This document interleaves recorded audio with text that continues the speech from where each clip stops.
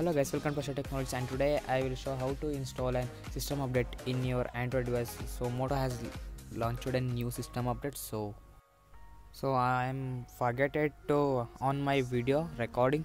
So I'm just click on install button. So after downloading you will get a notification from there and it will show us an installation time. Now just click on install button and after installing this the phone will restart like this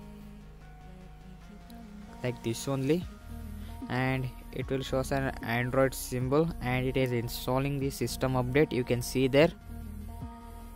And it will takes around an 5 minutes or 4 to 5 minutes or 5 to 6 minutes.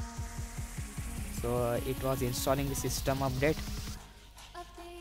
So this system update is not got for the who they who they were rooted their smartphones. So this system was not update was not given to who rooted their devices. So after installing you will get like this. And after installing you will go take and it is in first boot. After installing the new system update.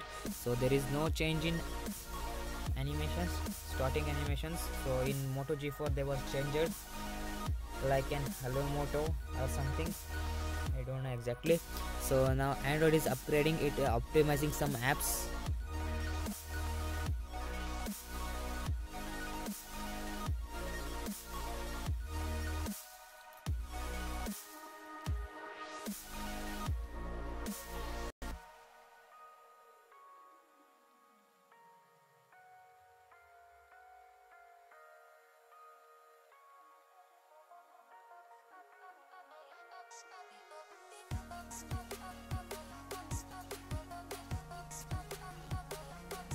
update the android security patch level in august. Now updating it is on july. I think it will comes to august or september. Patch level it has 63 mb of system update.